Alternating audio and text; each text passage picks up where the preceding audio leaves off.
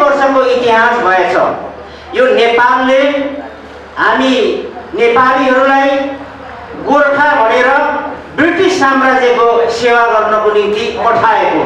यसको बारेमा पहल कदमी गर्ने अवसर पनि मिलो र स्वयं फेरि म म पनि भुपुकै छोरो पनि हो। म पनि तपाईँहरूकै अब यो यो भाषामा भन्दा अनुसार भान्जा हो। भनिसकेपछि यो समस्याको बारेमा नजिकबाट मैले पनि हेरिरहेको छु अध्ययन गरिरहेको छु। छब्बिस सय खैरेको गोराहरूको तलब हुने नेपालीको तिन सय पाउन्ड मात्र हुने। योभन्दा विभेद के हुन सक्छ?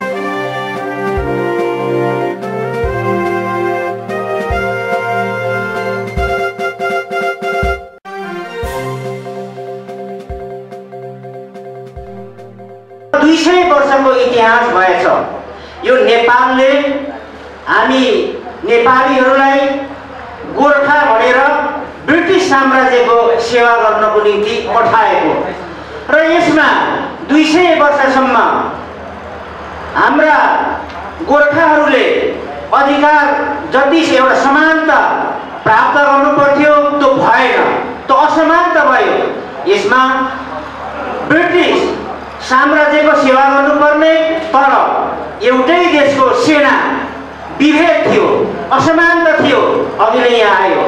छब्बिस सय खैरेको गोराहरूको तलब हुने नेपालीको तिन सय पाउन्ड मात्र हुने। योभन्दा विभेद के हुन सक्छ?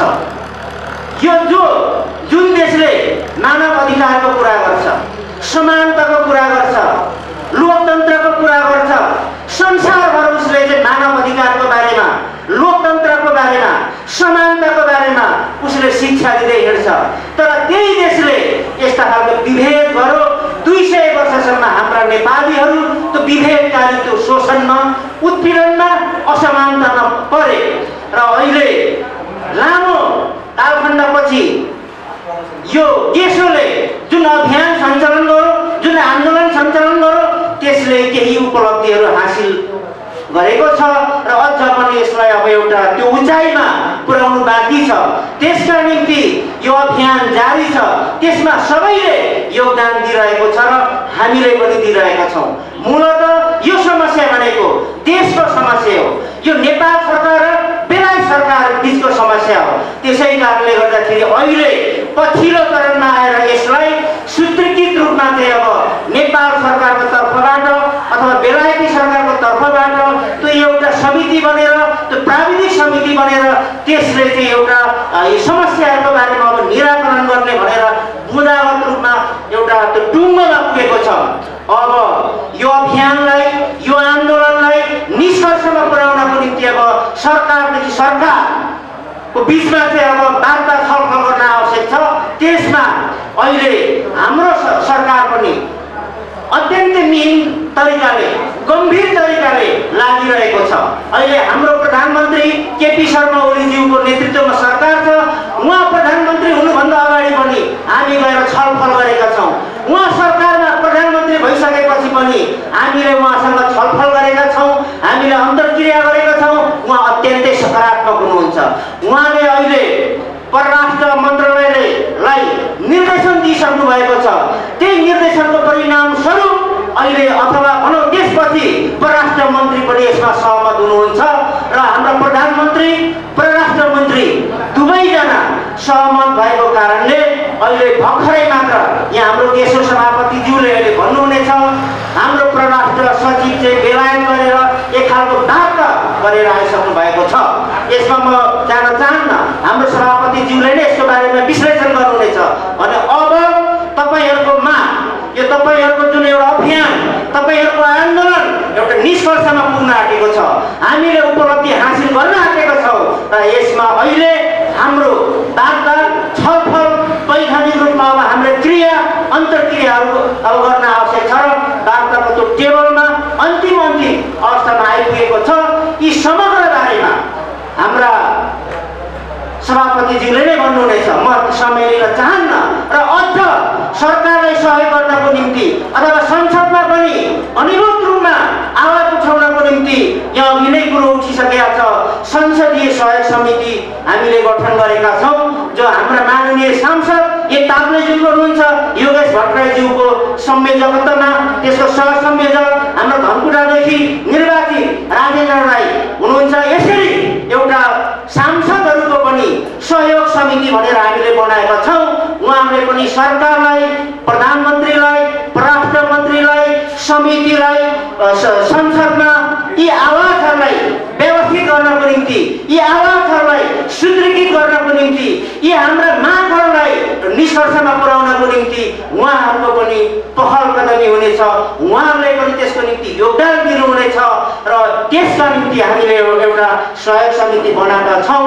र अब यत्रो वर्ष तिस वर्षको एउटा यात्रामा धेरै किसिमका अब यो संस्थाले यो सङ्गठनले उपलब्धिहरू पनि हासिल गरेको छ। यसमा केही चुनौतीहरू पनि आएका थिए र आएको छ।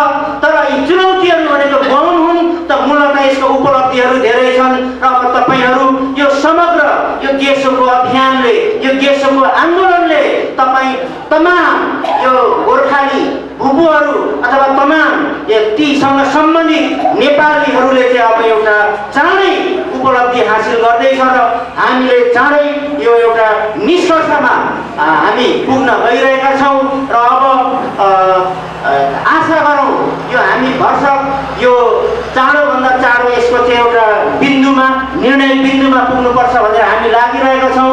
किनभने तपाईँहरू भनेको करिब करिब अब त्यो साठीदेखि माथि त असी नब्बेको उमेर समूहको तपाईँ आदरणीय सम्पूर्ण भुपुहरू तपाईँहरू हुनुहुँदो रहेछ हुनुहुन्छ। त्योभन्दा यता सन्तानब्बेदेखि यताकोलाई त सम्बोधन गरिसकेको रहेछ भनिसकेपछि अब मूलत ती तपाईँहरू अब यो अलिक वृद्ध अवस्थामा रहेका भूपहरू जो पन्ध्र बिस पच्चिस हजारको हाराहारीमा सङ्ख्यामा रहेछ त्यो समग्र तपाईँ भूपुहरूको समस्यालाई सम्बोधन गरेको खण्डमा तपाईँ व्यक्तिगत रूपमा त लाभान्वित हुनु नै हुन्छ। तपाईँको परिवारलाई पनि त लाभ त हुने नै छ। सँगसँगै यो राष्ट्रको निम्ति यो देशको निम्ति पनि फाइदा हुनेछ। त आर्थिक रूपमा हर हिसाबले चाहिँ अब यो फाइदा हुनेछ। र अब यो एउटा बिन्दुमा एउटा यो सफलतामा हामी पुगिसकेपछि अब यो गेसोले फेरि अन्य चरणको अभियानहरू समृद्धिको अभियानहरू सम्पन्नताको अभियानहरू फेरि सञ्चालन गर्ने नै छ।